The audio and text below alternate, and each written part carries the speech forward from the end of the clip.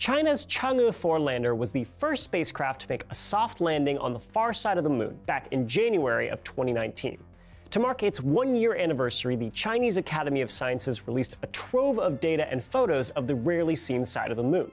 But aside from taking pretty pictures, what has Chang'e 4 been doing up there? Well, the first notable thing it's done is just survive for a year. The original design life of the lander's rover Yutu-2 was just three months. That means the little six-wheeler has been up there kicking up moon dust for four times longer than expected.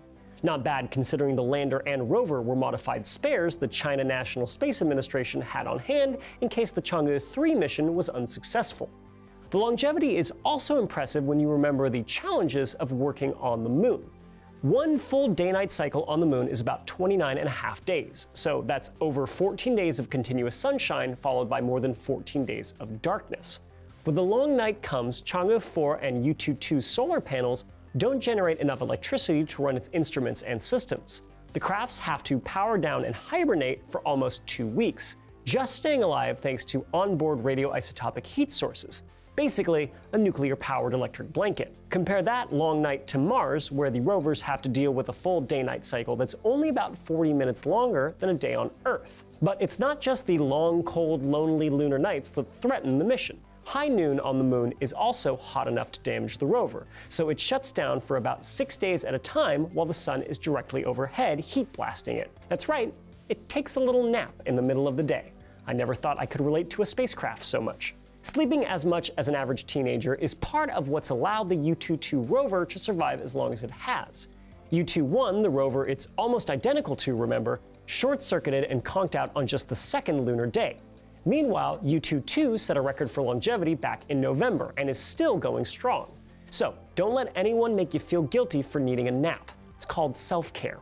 The longer the rover and lander survive, the longer both can perform experiments with the suite of instruments they carry.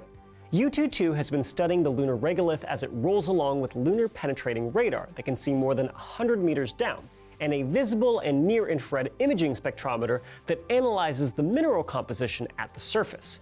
Data from these instruments have shown that the von Karman crater where Chang'e 4 touched down has thicker regolith than the near side of the moon, and the spectrometer has detected minerals that appear to have come from the mantle below the moon's crust. Continued study and analysis could lend insight into how the moon evolved. The lander itself is taking measurements of radiation levels on the moon, and the same instruments can be used to measure the amount of water in the local lunar soil. However, the experiment I am most excited about is the one that really takes advantage of Chang'e 4's unique location.